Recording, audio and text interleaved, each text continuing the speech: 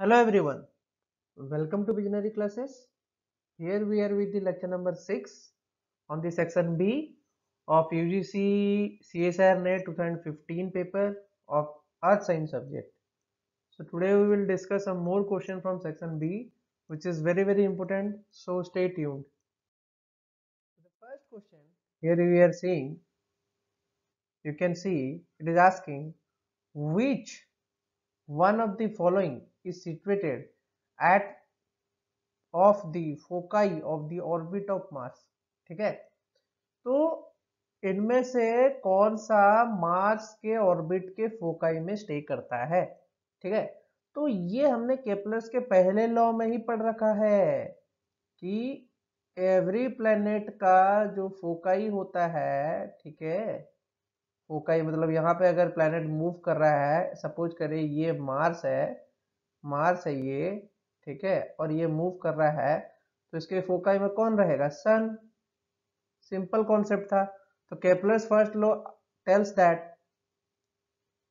all the planets orbit the sun in a path that resembles and ellipse with the sun being located at one of the foci of that ellipse so sun ही इसका answer होगा, ये बहुत ही simple question था, ठीक है? It was very very easy question so sun will be your answer okay next question they are asking which of the following statement about the river channel velocity is correct ठीक है?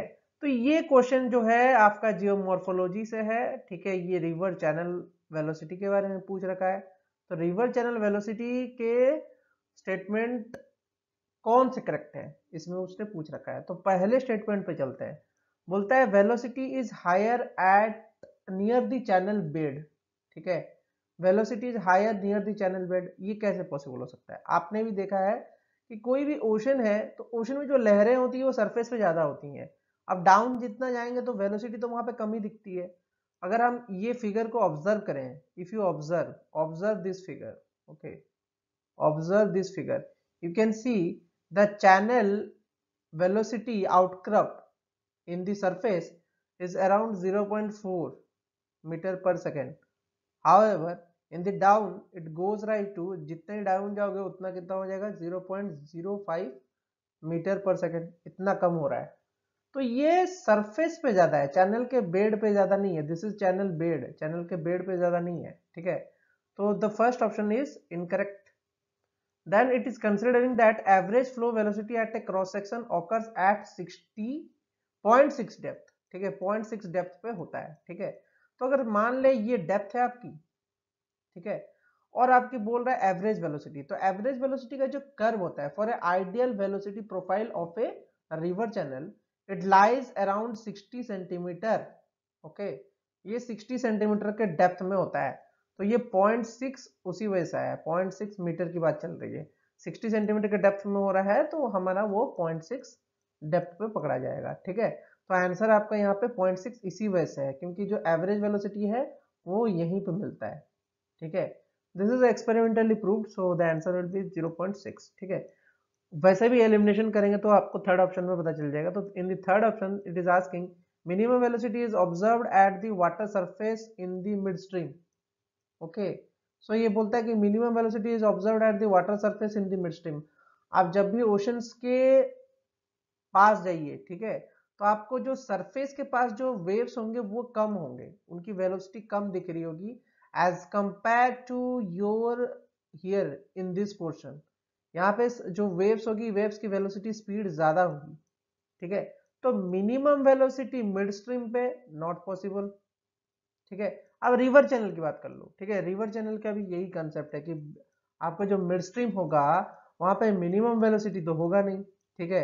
वहाँ पे velocity काफ़ी ज़्यादा होगा, क्योंकि वहाँ पे कहीं पे स्लोप हो सकता है, कहीं पे उसकी फ्लो वेलोसिटी बढ़ रही हो सकती है, किसी भी तरीके से। तो minimum velocity is observe at the water surface in the mid stream is also a fall statement we cannot say it now the statement is telling that velocity is lower over दीफर gradient steeper gradient पे lower कैसे होगा, ये तो कभी भी answer नहीं होगा, ये तो गलत ही होगा। ठीक है? तो आंसर ऑब्वियसली आपका टू हो रहा है by elimination method if use the answer will definitely be two okay the next question, this is also a question from river geomorphology, that is the highest feature on the flood plain r, ठीक है?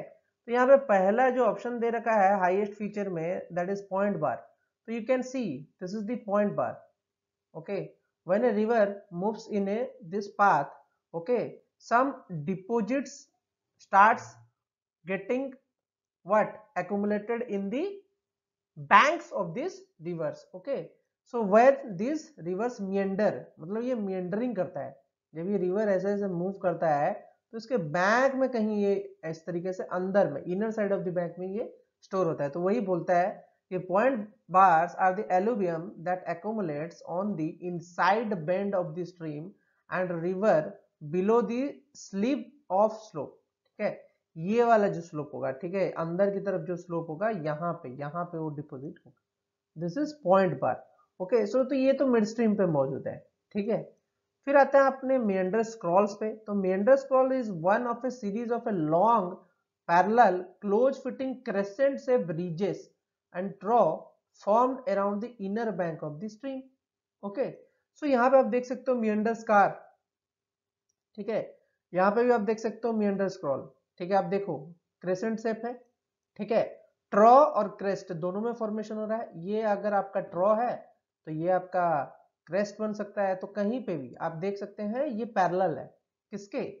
Fitting है. Close fitting close fitting with the river bed ठीक है? ये है. फिर आता है बैंक स्वैप ठीक है? तो बैक स्वैप जो होता है बैंक स्वैप थोड़ा दूर पे मौजूद है, यहाँ पे कहीं।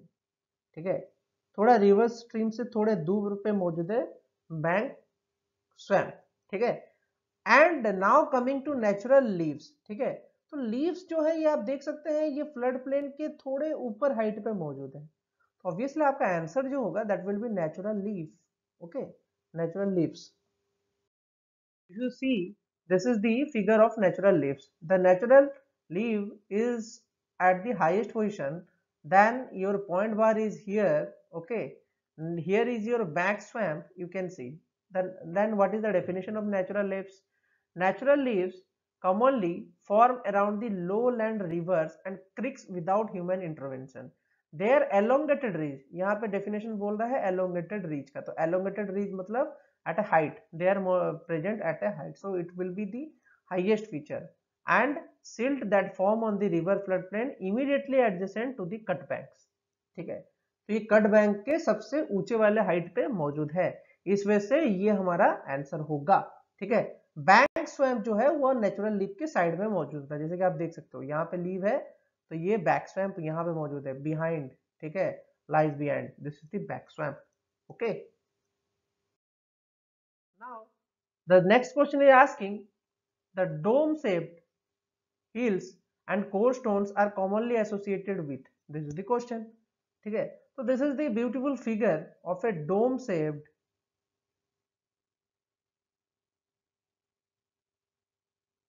hills. Okay. Mainly dome shaped hills and core stones are composite of granite. Okay. Then you can say granite domes are dom uh, domically hills composed of granite with a bare rock exposed mostly of the surface generally domical features such as these are known as bone hearts इनका नाम burn hearts है ठीक है इनको burn hearts के नाम से भी जाना जाता है ठीक है बसाल्ट तो होगा नहीं क्योंकि अगर आप एलिमिनेशन मेथड से चलते हैं basalt will not be the answer because ये ओशनिक क्रस्ट पे मिलता है तो इसके तो हिल्स अभी नहीं बनेंगे ओशनिक क्रस्ट पे ये हिल्स नहीं बनेंगे ठीक है? ओशनिक क्रस्ट पे जो भी हिल्स बनता है, वो थोड़ा पॉइंटेड होता है। इस तरीके से नहीं होगा, नहीं तो फ्लैट टॉप्ड होगा, ठीक है? फ्लैट टॉप्ड होगा, इस तरीके से होगा, नहीं तो पॉइंटेड होगा, ठीक है? ये डोम सेप्ड नहीं होगा। फिर आता है आपका सैंडस्टोन सैंडस्टोन का जो है सैंडस्टोन तो सेडिमेंट्री रॉक है तो वो तो हील के फॉर्म में नहीं रहेगा। वो थोड़ा लो हाइट का हिल्स बनेगा, ठीक है? डोम सेप नहीं बनेगा, ठीक है? तो ये भी ऑप्शन में नहीं है।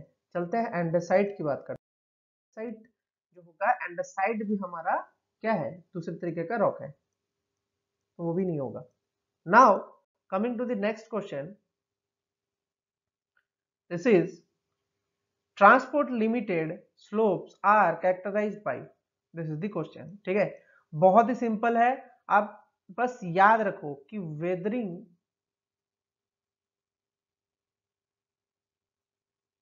नीड्स टाइम ठीक है? वेदरिंग नीड्स टाइम ठीक है? वेदरिंग को होने के लिए टाइम चाहिए, ठीक है? तो जहाँ पे इनको ज़्यादा टाइम मिलेगा, ठीक है? जहाँ पे वेदरिंग को ज़्यादा टाइम मिलेगा, वहाँ पे क्या होगा? वहाँ पे ट्रांसपोर्ट क्या होगा? लिमिटेड होगा। ऑब्वियसली बहुत ही सिंपल है, क्योंकि if you consider a soil layer okay it is continuously transporting okay how should you will say that weathering will happen अगर बार बार एक सॉयल का टॉप रिमूव हो जा रहा है तो वेदरिंग होना मुश्किल है। ठीक है? So this is not possible weathering can't happen if those areas which are prone to repeated transport, okay? So this cannot happen. That's why mainly the thin regolith अगर regolith बहुत ही thin है thin cover of regolith thin cover of regolith मतलब यहाँ पे जैसे देखो, ये bedrock है, ये बेडरॉक है और यहाँ पे कोई रेगोलिथ ही नहीं है तो ये क्या स्लोप है? तो इसका जो ऊपर का टॉप सॉइल है, ये तुरंत मूव करके नीचे आ जाएगा। तो where there is a thin cover of regolith what will happen the transport will be faster ठीक है? तो यहाँ पे आप देख सकते हैं कि वेदरिंग लिमिटेड जोन है बट ट्रांसपोर्ट लिमिटेड ट्रांसपोर्ट जो है वो हाई है। ट्रांसपोर्ट हाई है, लेकिन वेदरिंग डाउन है, ठीक है? वेदरिंग डाउन है, लेकिन ट्रांसपोर्ट हाई है। Again if you consider a regolith यहाँ पे आप देख सकते हैं कि ये एक रेगोलिथ है थिक कवर ऑफ़ रेगोलिथ है। यहाँ पे आपको थिक कवर ऑफ़ रेगोलिथ मिलेगा थिक कवर ठीक है? If you consider thick cover of regolith what will happen the transport will be limited and weathering will be high ठीक है? ये सिंपल सी बात है। तो आप बस इतना याद रखो, ये वाइस वर्षा है, ठीक है? तो थिक कवर ऑफ़ रेगोलिथ जहाँ पे होगा वहाँ पे आपका क्या होगा? ट्रांसपोर्ट लिमिटेड स्लोप होगा।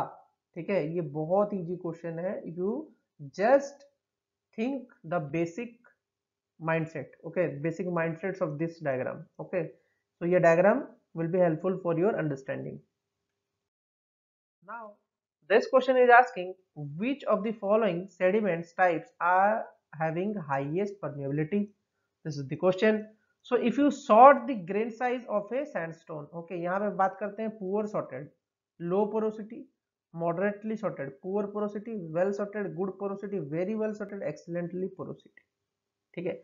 बात करते हैं परमिएबिलिटी की। परमेबिलिटी का मीनिंग क्या होता है?